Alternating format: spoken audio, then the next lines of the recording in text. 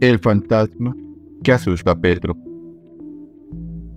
El cuento del día cívico dice que para ahorrar agua y luz evidenció que el presidente está asustado. Columna de Mauricio Vargas para el tiempo. En estos días, los nueve magistrados del Consejo Nacional Electoral CNE decidirán si abren investigación formal contra el presidente Gustavo Petro y contra su gerente de campaña Ricardo Roa, hoy cabeza de Ecopetrol.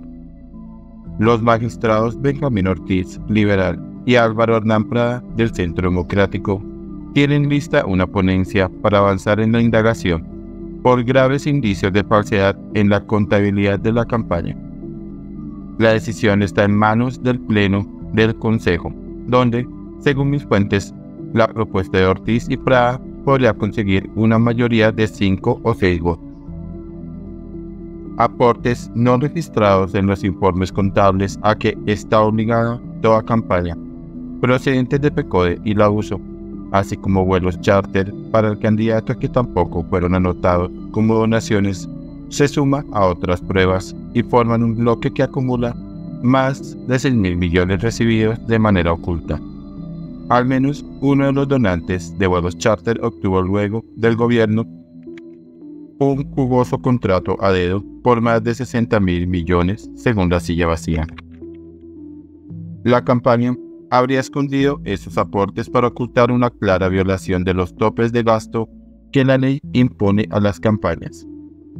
A eso hay que sumar los 15 mil millones que el embajador ante la FAO, Armando Benedetti, dijo en un mensaje de audio el año pasado a la entonces secretaria del presidente Laura Sarabia haber conseguido de donantes que no son empresarios, entre ellos un escapo del narcotráfico y que tampoco fueron registrados en la contabilidad.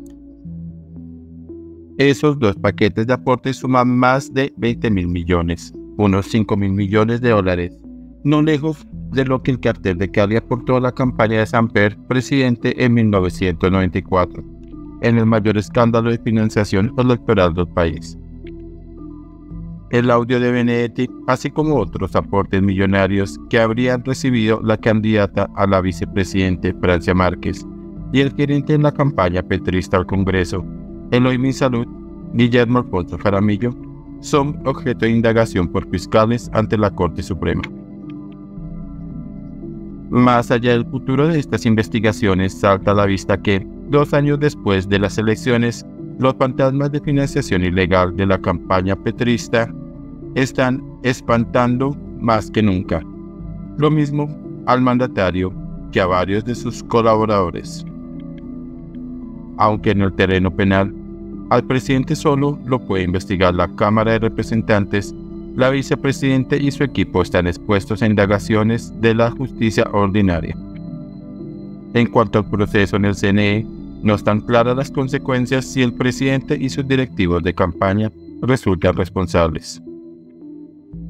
Pero el propio Petro dijo en 2020 una frase que hoy se vuelve en su contra.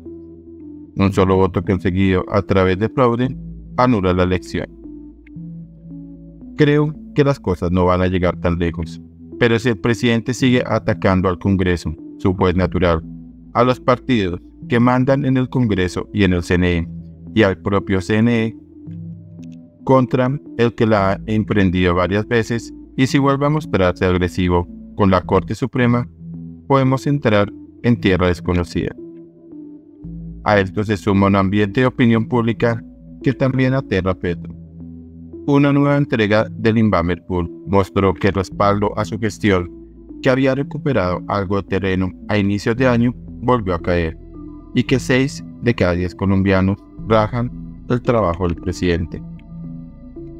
Preocupado por las manifestaciones en contra del gobierno anunciadas para hoy, Petro trató de debilitarlas al declarar día cívico el viernes y sugerirle a la gente que saliera de las grandes ciudades como Bogotá, disque para ahorrar agua y luz ante el peligro de racionamientos.